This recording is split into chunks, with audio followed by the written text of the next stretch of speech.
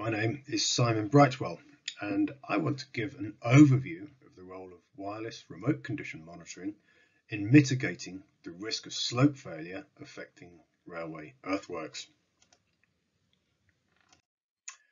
So this is one of a, a, series of explainer videos, so I'd urge you to look out for others covering rail track and, and, structures. But for today, I'm going to be focusing on railway embankments and railway cuttings.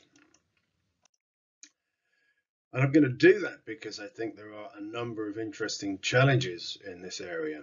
Firstly, the age of many of these assets uh, makes them a challenging asset to look after. Most of them in the UK and many other parts of the world are, are more than 130 years old. They predate uh, modern geotechnical standards by, by many decades and they are highly variable. They comprise slopes of many different shapes and angles, um, many different types of geology, uh, some have drainage, some don't. Uh, records are patchy and leave scope for guesswork.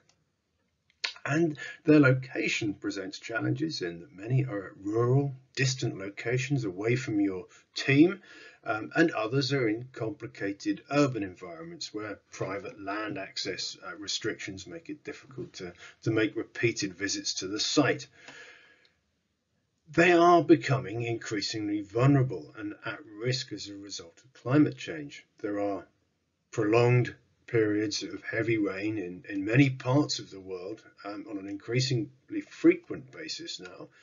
And for a combination of those reasons, um, I think there is a need for tools to help to manage the challenges and wireless monitoring is one of those tools. So let's look at the anatomy of a wireless slope monitoring system and its five main elements. Firstly, there are tilt sensors on stakes detecting movement to sub-millimeter precision, sending data in a series of hops on towards a gateway, the little grey box in the right-hand corner. And just below that little grey box, uh, there is a cellular camera, which gives us eyes on the site and in turn below that we have a solar panel that powers the camera and the gateway. Now the fifth element, an item that is invisible normally but visible here thanks to the pink lines, is the FlatMesh radio communications platform. Now FlatMesh has been developed and consistently improved over a period of about 15 years. It uses a relatively high frequency part of the bandwidth, 2.4 gigahertz, and it brings a number of advantages. It allows us to build a degree of intelligence into the tilt sensor nodes such that they can self-configure once we install them. They can self-heal if one is damaged. They can last an astonishingly long time, 10 to 15 years, uh, reporting every 30 minutes. But rather cunningly, they can wake up and send much more frequent updates if they detect movement. So this put together the camera, the gateway, the tilt sensors, the solar panel, and the software is called InfraGuard. So I'd like to tell you a little bit more about InfraGuard and the, the role that it can play.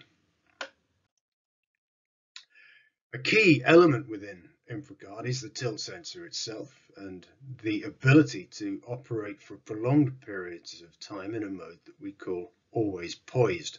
It's a low power consumption mode, sending data on a scheduled basis, um, but waking up and responding in the event of movement. And that movement, if it occurs to a degree of greater than one degree per second of tilt, will trigger the system to uh, to wake up and, and, and respond. Systems that are reliant on scheduled sampling are not able to do this. So if we look at this in action in a little animation, uh, we can see that the uh, situation where there is no movement is this uh, always poised mode. So to achieve the long life performance, it consumes very little power. The Edge Hub gateway collates data and relays it periodically via the cellular network to the cloud.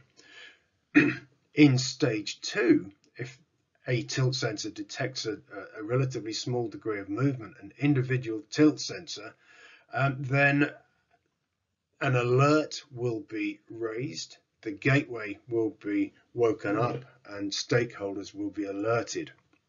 A photograph will be taken, um, and then if we move up a stage to level three, uh, we get a more dramatic event, um, something of higher magnitude affecting multiple um, tilt sensors, then all of the tilt sensors in the neighborhood will be put into this high frequency reporting basis and the camera will send more photographs. So we've got this responsive system that is able to deal with uh, different types of conditions on site, yet still perform over a prolonged period of time. So InfraGuard not only tells you what is happening, it shows you, and you can see some of the imagery here. Um, the photographs on the left taken in the daytime and at night uh, on the right hand side mean that users get fewer false alarms, which improves the trust and the confidence in the system. Now, our users have checked out alerts for various reasons, including branches falling on tilt sensors, uh, deer with itchy backsides using them as a scratch post, and even errant car drivers who've accidentally strayed onto the railway embankment. But if there is a real slope failure problem, uh, the system will tell you. And it will tell you in a, a reasonably sophisticated way. The system is flexible enough to be built into your management system with different levels of alert and different levels of response in terms of what you do with the data. So Network Rail, for example, have configured the system such that their highest level of alert is transmitted not just to their geotechnical teams, but also to their signalers so that measures such as speed restrictions or, or, line closures even can be quickly put in place to protect the infrastructure and the people who use it. So let's look at an example. Um, this is a site from a particularly challenging location to the south of London, Wadhurst in Kent. It's a steep slope above a, a tunnel portal um, and you're looking here at a 12 hour view from a single tilt sensor. Now, a spike is obvious in this data around about 2 a.m. and these things tend to happen in the middle of the night rather annoyingly um, and that was caused by um, prolonged period of rainfall causing a sudden loss of stability on the slope and the development of a slip. If we go to look at the data a little bit further back from then, I think it becomes interesting because not only is the InfraGuard system able to wake up and respond and alert stakeholders to that sudden movement, but it's also able to detect these incremental steps in the data set. So around about five days before that uh, event, uh, a series of smaller steps in rotational movement of the slope were detected and could be seen in the data. So it's this combination of incremental, gradual movement as well as sudden event detection. And that's what it looks like in real life from an aerial view of around about 60 tons of earth slipping down a steep slope towards the track.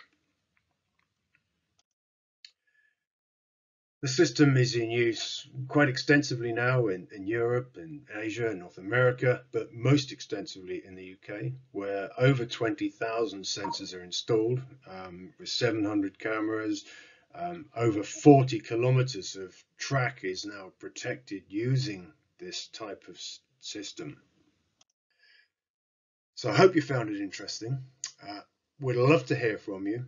Uh, take a look at our website. There are ways of getting in touch with us with the various forms there. Uh, or you can simply drop us an email to info at senceive.com. We look forward to hearing from you.